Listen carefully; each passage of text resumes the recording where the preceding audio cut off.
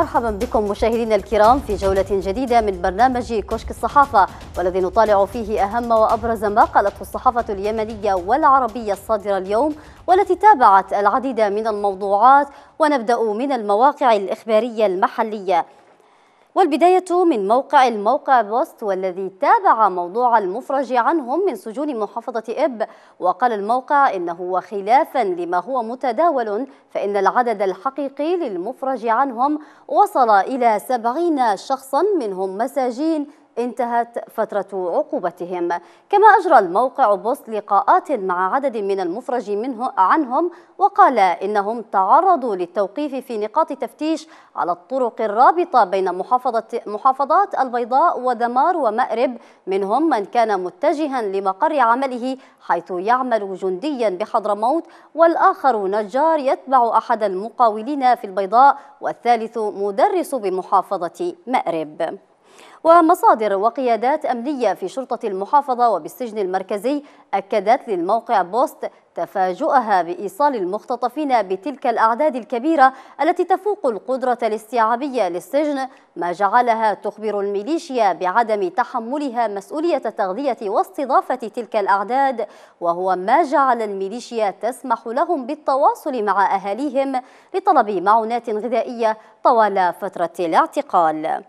وأضافت المصادر أن الميليشيا رتبت بعد ذلك لإطلاقهم تحت مسمى حسن النوايا ضمن صفقات تبادل الأسرى والمعتقلين في إطار مشاورات الكويت وطلبت ضمانات منهم وحذرتهم بإعادتهم للسجن في حال مخالفة التعهدات والاعترافات بأنهم أسرى حرب مقاتلين في صفوف المقاومة.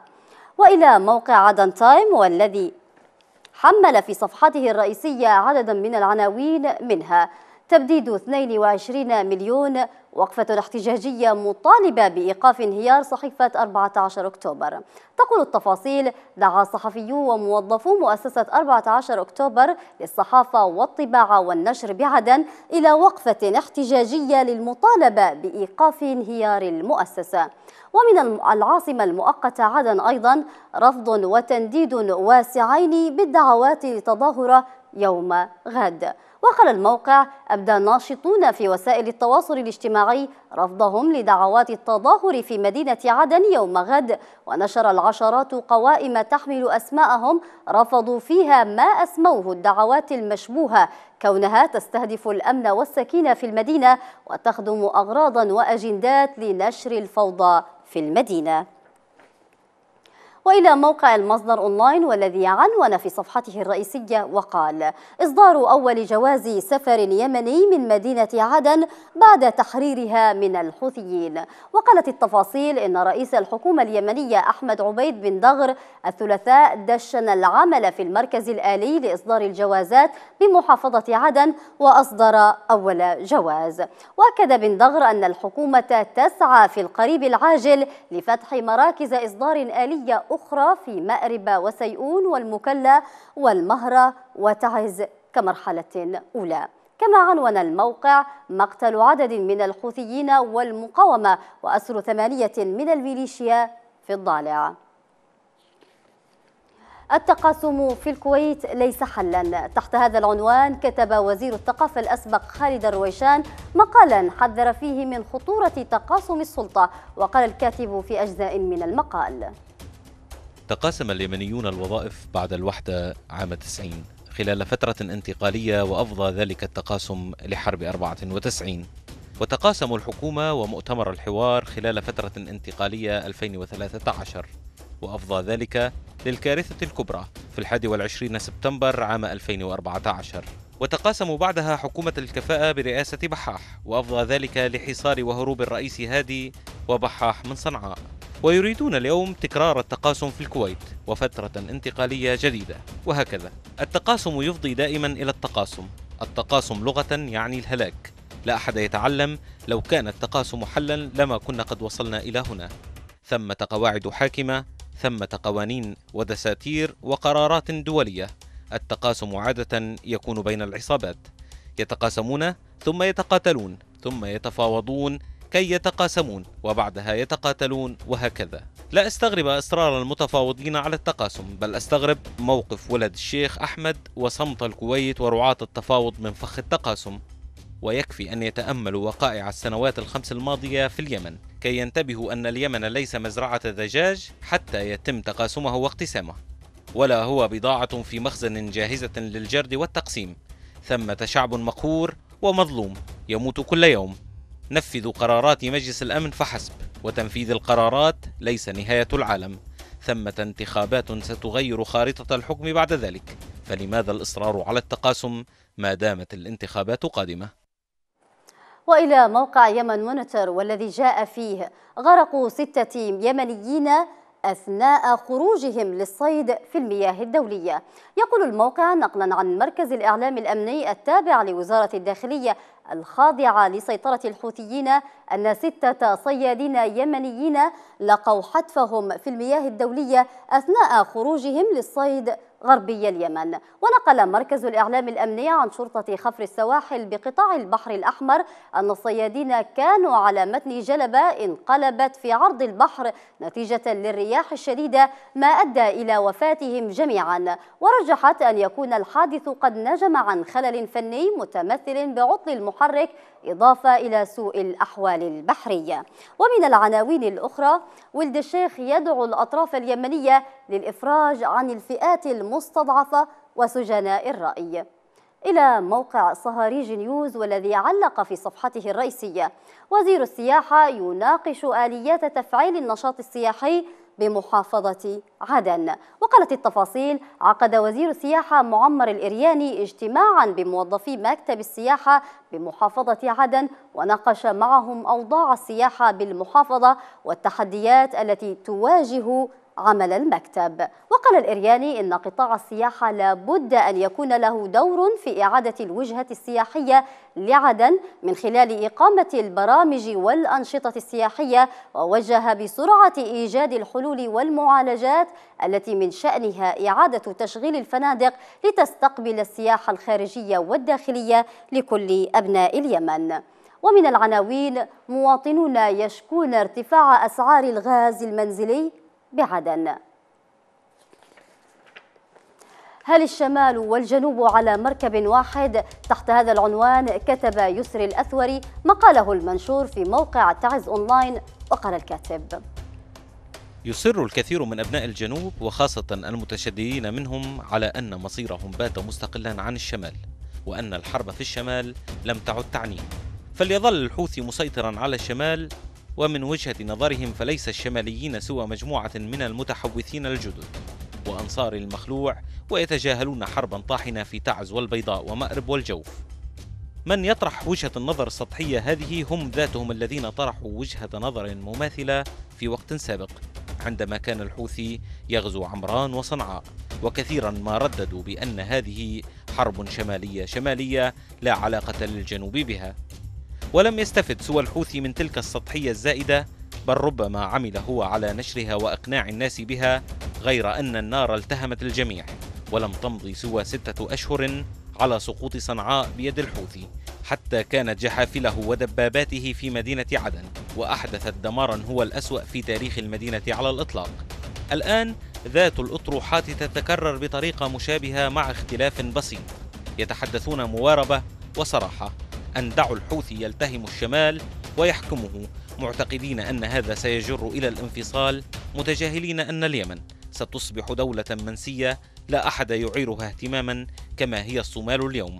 وسيتشرد اليمنيون في أصقاع الأرض ومن لم يمت بالحرب سيموت بحمى الضنك. وقد يموت جوعا وقد يكون حال الجنوب في أحسن الأحوال وفق هذه الأطروحات. كحال جمهورية أرض الصومال في ذلك البلد الإفريقي الذي تمزقه الحروب منذ 25 عاما. فلا هي جمهورية معترف بها ولا هي تنعم بالعيش الرغيد. وللاشتراك نت والذي تابع تطور المواجهات في لحج وعنون الموقع. لحج الميليشيات تدفع بتعزيزات كبيرة للقبيطة وسط استمرار المعارك ونزوح السكان.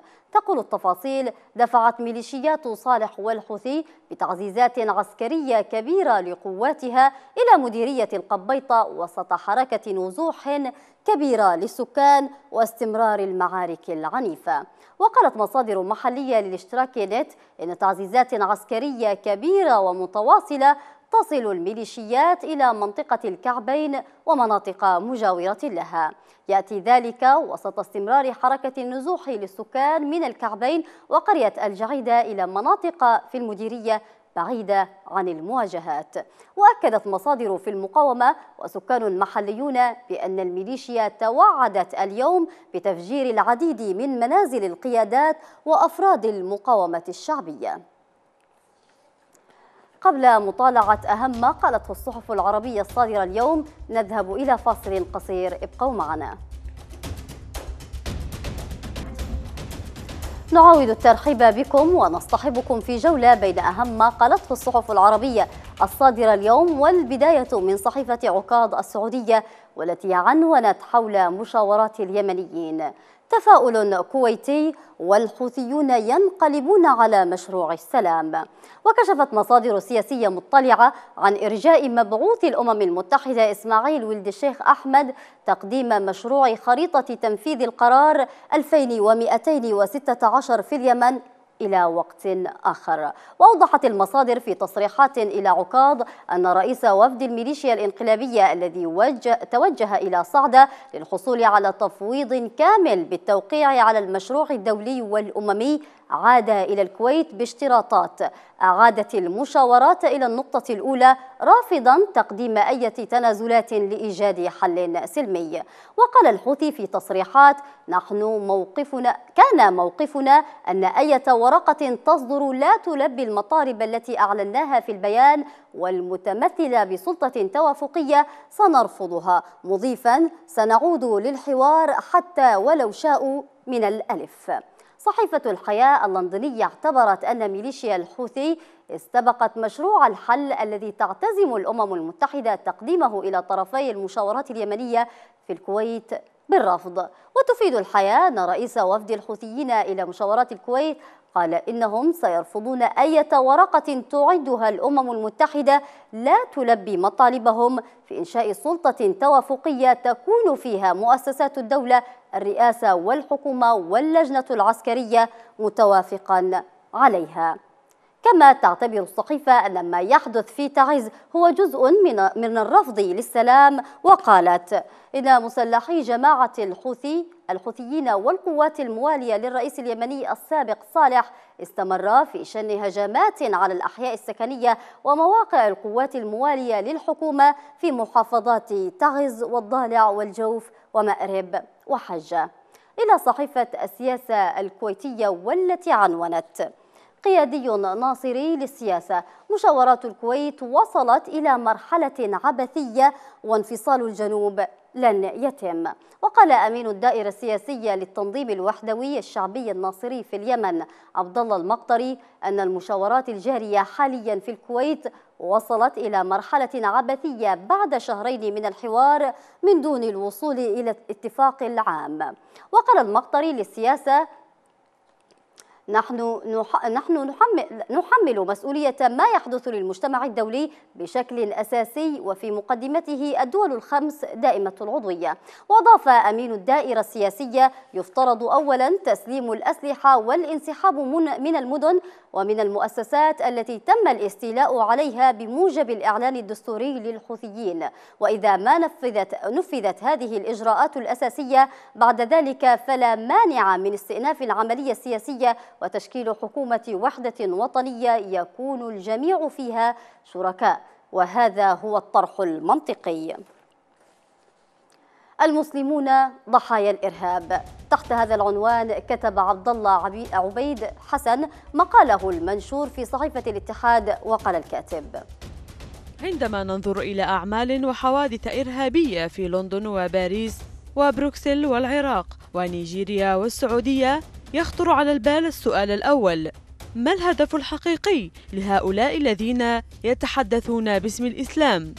إذا كان هدف هذه الجماعات المارقة هو إحياء الدين وإعادة الخلافة الراشدة التي نشرت الإسلام وأقامت دولتها الكبرى فهذا هدف لن يتحقق بقطع الرؤوس وسبي النساء ونهب ثروات البلاد الإسلامية التي أخضعوها وإنما الذي تحقق هو أن هؤلاء أضعفوا المسلمين وفرقوا كلمتهم وشوهوا صورة الإسلام أمام أنظار العالم. وكلما مضى هؤلاء في أعمالهم الإجرامية الطائشة تقوت حجة أعداء المسلمين بأسلحة فكرية وسياسية لمحاربة الإسلام حماية لأوطانهم من الإرهاب الإسلامي. وما نراه اليوم أن كثيرا من الساسة والمعلقين خرجوا يدعون لتوحيد أمتهم وجمع صفوفها وتخطي خلافاتها لمواجهة هذا العدو الذي أصبح يهدد أطفالهم ونساءهم وعجزتهم من داخل أرض وطنهم. حتى أن هيلاري كلينتون والتي كانت تبدو أعقل وأعلم مرشح الرئاسة والتي لم تستخدم يوما عبارة الإرهاب الإسلامي اضطرت أخيرا لمجاراة الركب فخرجت لتعلن التزامها بأن تكون أولى أولويات سياستها الرئاسية محاربة الإرهاب الإسلامي والقضاء عليه في الداخل والخارج. صحيفة البيان الإماراتية تناولت الوضع السياسي وعنونت. الحوثيون يستبقون خطة السلام الدولية بفرض الشروط. الصحيفة الإماراتية قالت استبق الحوثيون خطة السلام الدولية المقترحة في اليمن وهددوا برفضها إذا لم تلبي اشتراطاتهم.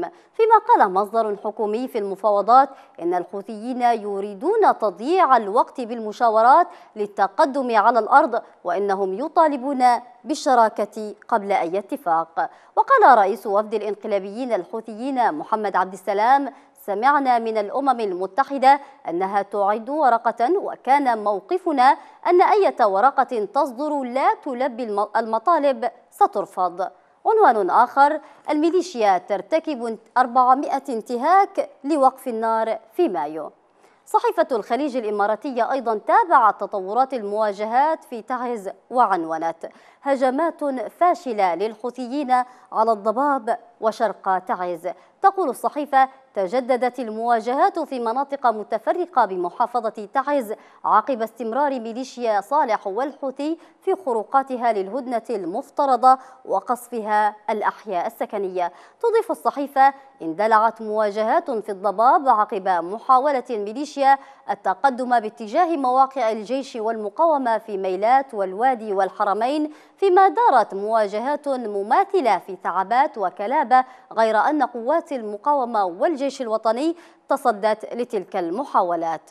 وبحسب مصدر في المقاومة فإن اثنين من قناصة ميليشيا الحوثي قتلا برصاص المقاومة في جبل هان غرب مدينة تعز وإلى صحيفة العرب الجديد والتي عنونت أطباء بلا حدود 700 مدني أصيبوا منذ بدء الهدنة بتعز تقول التفاصيل أعلنت منظمة أطباء بلا حدود الطبية الإنسانية أن مرافقها في مدينة تعز اليمنية استقبلت منذ بدء وقف إطلاق النار في أبريل 1624 جريحا أصيبوا جراء القتال في تعز نصفهم من المدنيين. وقال منسق المشروع في منظمة أطباء بلا حدود في تعز صلاح دنغدو إنه في الثالث من يونيو استقبلنا 122 جريحا في المرافق التي ندعمها وغالبية المصابين أصيبوا بالصواريخ التي ضربت سوقا مكتظا في تعز. وأضاف وصل أيضا 12 شخصا كانوا إما ميتين لدى وصولهم أو مصابين بجروح خطيرة تسببت بوفاتهم بعد وصولهم إلى غرفة الطوارئ. وفي اليوم التالي وصل 135 شخصا آخرون مصابون بجروح حرب بجروح حرب بكل بساطة. لا نشهد أي تقلص في في مستوى العنف.